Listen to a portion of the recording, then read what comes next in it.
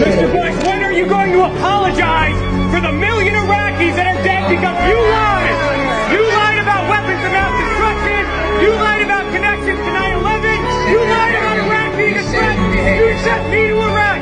You sent me to Iraq in 2003. My friends are dead. Just like Castile. You, you killed people.